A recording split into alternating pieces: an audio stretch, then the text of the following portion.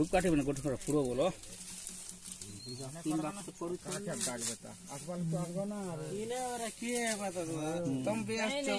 তো পূজা তো